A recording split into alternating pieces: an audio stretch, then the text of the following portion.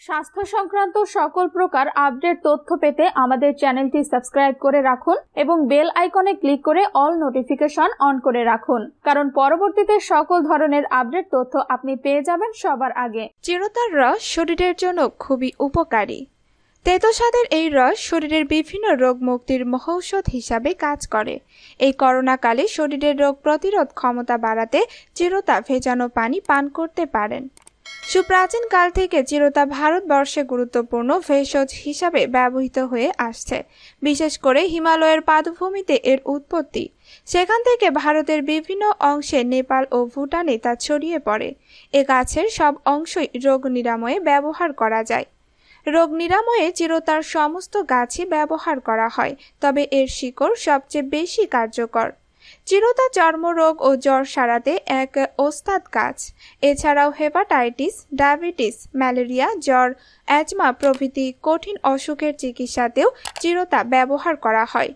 চলুন চিরতার কিছু ভেষজ গুণ ও ব্যবহার সম্পর্কে জেনে নিই। এক চিরতা খেলে যে কোনো কাটা ছেঁড়া ক্ষতস্থান দ্রুত শোকায়। ঘা হয়েছে অথচ কিছুতেই সারছে না।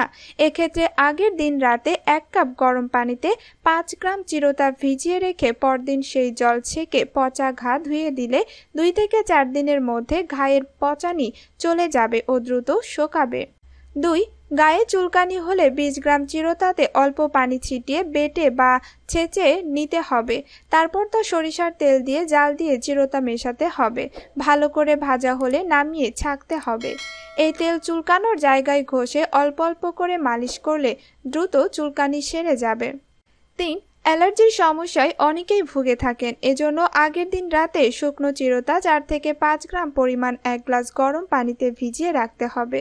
পরদিন ওটা ছেঁকে দিনের মধ্যে দুই থেকে তিনবারে খেতে হবে। চার ডায়াবেটিস, কোলেস্টেরল ও উচ্চ রক্তচাপ নিয়ন্ত্রণে রাখে চিরতা। এই পাতা নিয়মিতভাবে খেলে রক্তে চিনির পরিমাণ নিয়ন্ত্রণে থাকে বা কমে। চিরতা দেহে অগ্নাশয়ের ইনসুলিন উৎপাদনকে ত্বরান্বিত করে। এক্ষেত্রে আগের দিন রাতে শুকনো চিরতা চার থেকে পাঁচ গ্রাম এক গ্লাস গরম পানিতে ভিজিয়ে রাখতে হবে। পরদিন ওটা ছেঁকে সকালে খালি পেটে খেতে হবে। পাঁচ চিরতার মধ্যে শক্তিশালী অ্যান্টিঅক্সিডেন্ট রয়েছে যা বার্ধক্যকে বিলম্বিত করে দিতে পারে। এমনকি নিয়মিত চিরতা সেবনে ক্যান্সার ও হৃদরোগে স্ট্রোকের ঝুঁকি কমে যায়। ছয়, ঠান্ডা জ্বর কাবু করতেও চিরতা কার্যকর। এ অবস্থা হলে পাঁচ থেকে দশ গ্রাম চিরতা, চার কাপ পানিতে সেদ্ধ করে দুই কাপ থাকতে নামিয়ে ঠান্ডা করতে হবে। পরে তা ছেঁকে সকালে অর্ধেক ও বিকেলে অর্ধেক খেতে হবে। সাত কাশি, হাঁপানি ও শ্বাসকষ্ট কমাতে সাহায্য করে এই পাতা।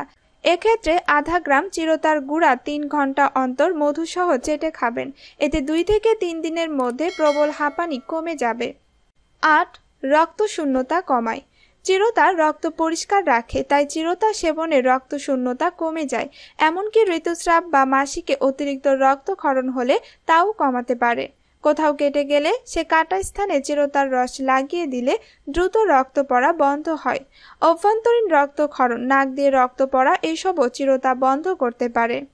নয়, কৃমি হলে পেটের ওপরের অংশটা মোচড়ায় ব্যথা করে। পেটে কৃমি হলে আধা গ্রাম চিরতার গুঁড়া সকালে মধুসহ বা চিনি মিশিয়ে চেটে খাবেন, এরপর পানি খেতে পারেন, এতে কৃমির উপদ্রব চলে যাবে।